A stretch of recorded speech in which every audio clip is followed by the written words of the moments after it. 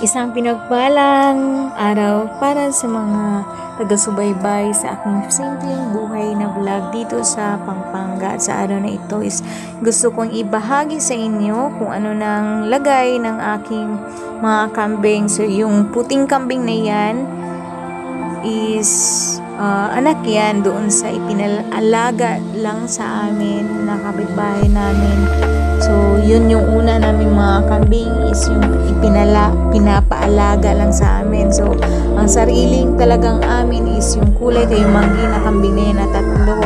Yung inahin na kambing na yan is buntis pa nung naibili namin doon sa ini-sponsored galing kay Mami M. So ako'y nagpapaabot ng pasasalamat sa iyo Mami M sapagkat binigyan mo ko ng pagkakataon na magkaroon ng sariling pangkabuhayan sa pamagitan ng iyong pagcha-challenge sa amin. So nung unang challenge ko is bumili ako ng ka-boiler.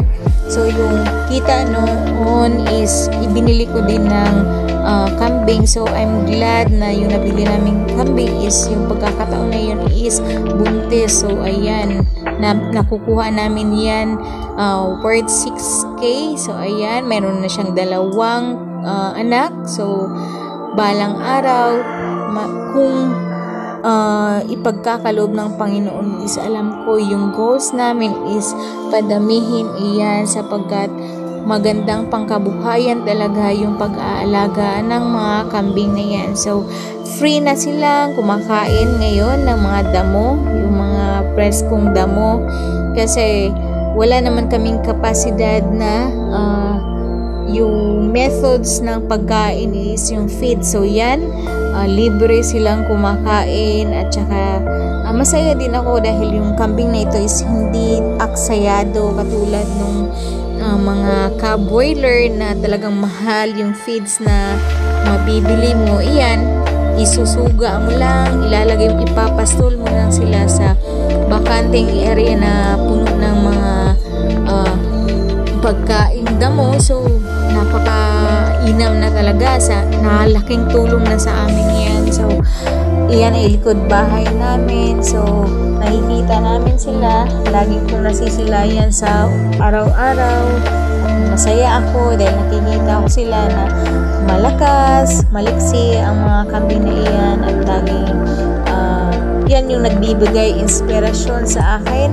Hindi ko hindi ko hawak ang sitwasyon na yan pero lagi kong hinangan sa Panginoon Diyos na balang araw is lalago at lalago ang advokasya ko ito is palamin sila para gawin sa pangkabuhayan namin. Yun naman talaga yung goals ng challenge na ito. So, gustong i-update sa inyo at sana makikita or kung kahit di makikita ni Mami M is patuloy kong i-update kung anong meron sa challenge niya, kung anong nangyayari na sa uh, pangkabuhayan challenge na ibigay. Salamat sa lahat ng uh, mga taong patuloy akong sinusubayan at patuloy akong sinusuportaan. So, mega love shout out, Mami M, Ma'am Aislan Tali Vlog, um, mega love shout out, Ma'am Lovely Anggong, Sisi Lalab Emma's Helping Hand, Ate Shay ako, uh, mega love shout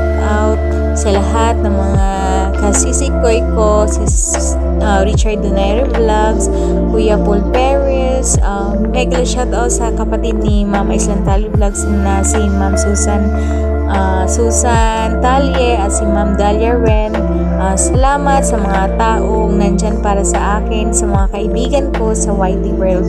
Uh, shout out sa inyong lahat. Hindi ko naman kayo ma-mention lahat pero ako'y nagpapasalamat sa bawat pagkakataon mag-upload tayo is yung support system na meron tayo is napakagala ko dahil isa lang naman tayong mga uh, small YouTuber. So, ayan, Oh, kahit may manunood isa, dalawa, tatlo, apat, lima, hanggang sa ano lang, masaya na tayo noon na nahibabahagi yung simpleng buhay vlog na meron tayo. Ayan, na yan yung kulay white na yan is napaka-cute talaga yan, puting-puti.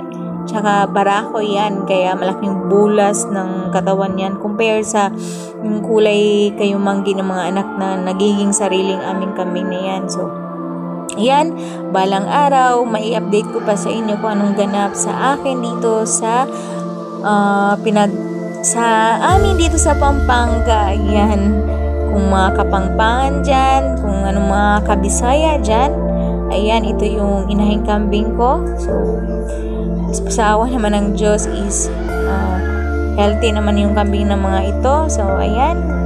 At sa susunod, salamat sa susunod na um, i-update ko pa rin sa inyo kung anong ganap, anong mayayari, anong mga kalalabasan ng challenge na ito na binigay ni Mami Ann sa amin. Maraming salamat at God bless everyone.